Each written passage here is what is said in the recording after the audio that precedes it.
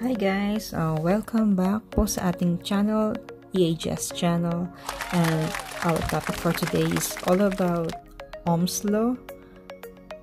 Um, ito po ang isa sa pinaka-basic na law na kailangan matutunan natin, lalo na sa electronics. So, i-explain po natin siya in Tagalog para mas madali. So, what is Ohm's Law? Ohm's Law po is yung relationship ng ating voltage, current, and resistance sa isating circuit. So, dito po, meron tayong formula na sinusunod sa Ohm's Law. Para matandaan natin, meron tayong tinatawag na parang uh, pattern na para mas mabilis natin, mas mabilis natin maalala yung ating formula. So, VIR, lagi natin tatandaan, tatandaan VIR. So, parang sa Pinas, BIR. Pero ito is social V, VIR. V stands for voltage. I for current. And R for resistance. Ang symbol ng voltage is V current is I. Resistance is ohms. Symbol niya is like this. So, current is I. Ang ating measurement ng current is amperes. So, it's amp. Amperes. Okay? So, ang paano basahin ng formula to? VIR. So, ibig sabihin, V is equal, equals to IR gitna natin. So, pag ang kukunin natin, formula ng V, takpan mo ang V, ang formula niya is I times R. Current times resistance. So, an, paano kukunin ang formula ng I? Current. I is equals to, pag tinakpan ko ang I, V over R voltage divided by resistance. Pag kukunin ko ang formula ng R, anong natira? V over I. So, voltage over current. So, dyan lang maglalaro ang relationship ng voltage, current, and resistance sa formula. Okay? So, para makuha natin ng value ng resistance or current or voltage sa ating circuit, itong formula ang gagamitin natin, Ohm's Law. Then, based sa ating formula, kung titingnan mo, ang ibig sabihin lang yan, every time na nag increase ang ating voltage, nag increase din ang ating current. Every time na nag increase ang value ng ating resistor or ng ating resistance, bumababa naman ngayon ang value ng ating current. So, ito ang relationship ng ating formula. Let's see. Tingnan natin sa isang napakasimpleng circuit. Ang circuit natin is napaka-basic. Meron tayong voltage. Given din na ating resistance. 4 ohms. Voltage 12, vo 12 volts. Ang missing natin is current. So, ano ba ang formula ng current? Takpan ko si I. V over R. Diba? So, ibig sabihin, current is equals to V over R. Ano ang value ng V natin? 12 volts over 4 ohms.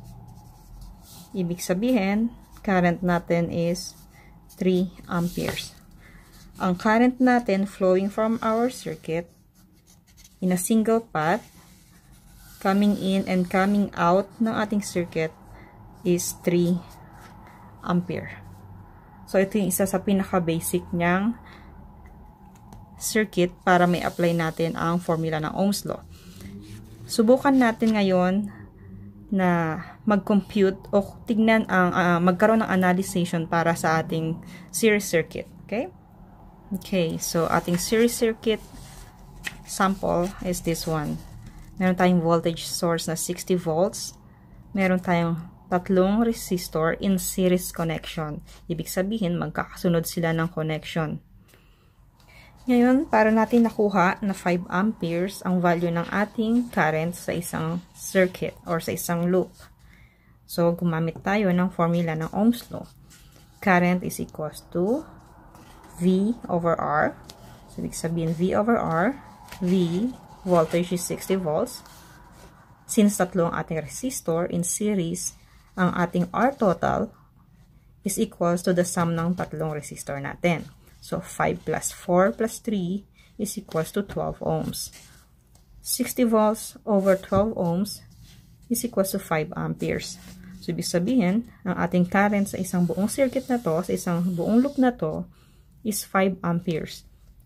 Magmula sa umpisa, magmula sa pagpasok sa ating circuit, hanggang sa makalabas siya, 5 amperes siya, hindi yan nababago. So, if sabihin the same ang value ng ating current sa, ita, sa isang buong loop na to. Pero, iba naman ang sa voltage. Medyo ilawakan natin yung explanation para mas ma, mas maintindihan. So, sa single loop ng series, ang ating current is the same, pero ang ating voltage is hindi. Pag pumasok sa, sa circuit natin is 60 volts, nagda-drop siya ng voltage sa bawat resistor natin hanggang sa makalabas siya dito, 0. So, 60 volts from here, drop, drop, drop, then 0 volts. Paano natin malalaman kung gaano kalaki ang voltage na din-drop sa bawat resistor?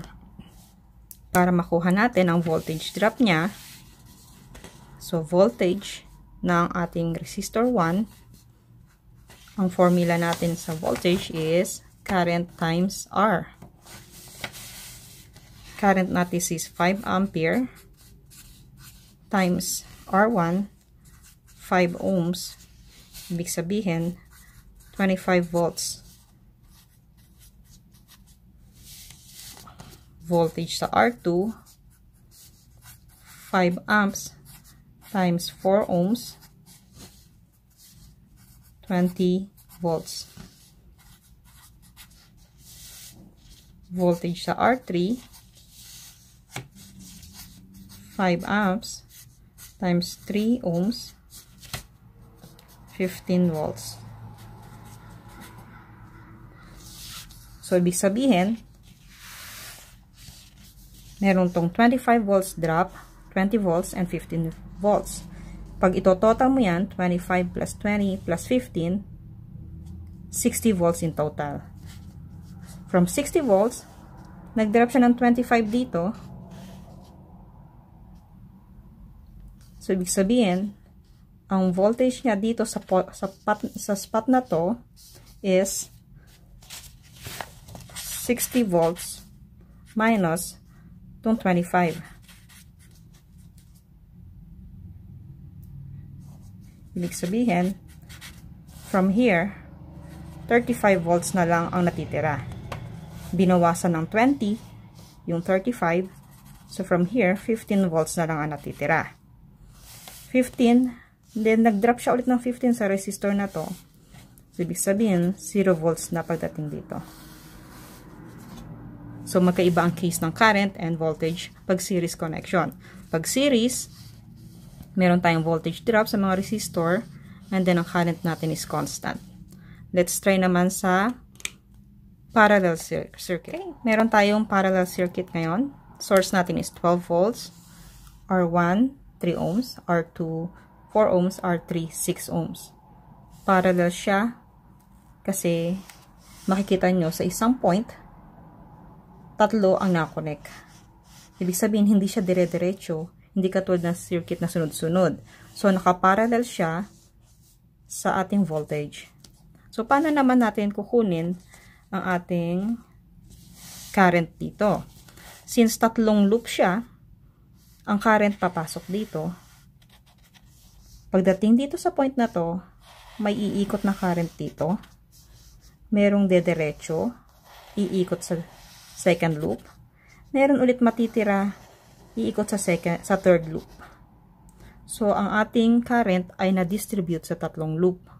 Ibig sabihin, magkakaiba sila ng current bawat loop. Paano natin makukuha kung ano ang current sa unang loop? So, ang unang current natin sa ating formula, V over R, 12 volts over R1, 3 ohms. Ibig sabihin, meron tayong 4 amps sa unang current, ay sa unang loop. Second loop, 12 volts over 3 ohms, sorry, 4 ohms. Meron tayong 3 amperes sa pangalawang loop. Third loop, 12 volts divided by 6 ohms meron tayo ditong 2 amperes.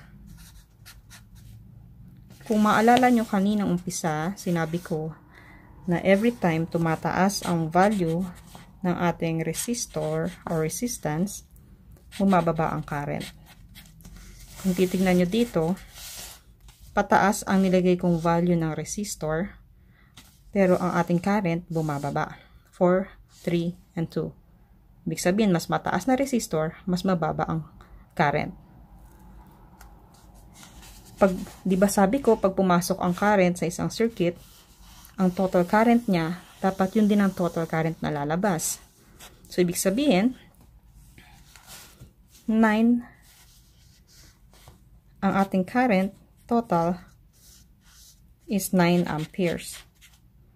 Dahil 4 plus 3 and 2 is 9. Pagpasok niya dito na 9 amperes, nabawasan siya ng 4. So, ibig sabihin, pagdating niya dito, 5 amps na lang siya.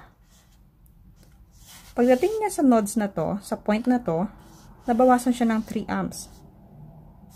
Lumalabas na 2 amps na lang ang nandito. So, 2 amperes na lang ang lumabas at ang umiikot dito sa last na loop. Pagdating sa 2 sa 2 amps na to, pagdating sa point na to, di ba 2 amps to? Nag-meet sila ng 3 amps ng 5. Di ba? Di ba may 3 amps dito na current? Nag-meet sila. So, ibig sabihin, nadagdagan. 3 amps plus 2 amps, 5 amps na sila. So, kung 5 siya dito, may na-meet siya ulit na 4 amps galing dito sa loop na to. 4 plus 5 equals to 9 ampere ulit. Ibig sabihin, ang pumasok na 9 amperes, lumabas din is 9 amperes. Pagdating naman sa ating voltage, dahil connected sila sa iisang line, nakadirect siya eh. Kung titingnan mo magmula dito, nakadirect siya. Nakadirect siya, nakadirect siya. Ibig sabihin, pag parallel, ang voltage natin, constant. 12 volts ang meron sa ating R1, 12 volts din sa R2 at 12 volts din sa R3. Pero ang current is distributed sa bawat loop na nadaanan niya. Okay, so ganun lang kadali ang ating Ohm's Law para sa ating series at saka sa ating parallel na connection. Sa ating next video, i-discuss naman natin or ipapakita ko kung paano nyo mapapatunayan ang ating computed values ay parehas ating measured values. Gagamit tayo ng tester para makita o ipakita ko sa inyo kung paano siya i-measure or paano sukatin ang isang actual circuit na dapat parehas siya sa ating computed values. So, stay tuned po mga kaibigan para sa susunod, mapakita ko naman yung actual measurement kung paano tayo mag-measure. Please subscribe po, huwag niyo po kalimutan. Salamat!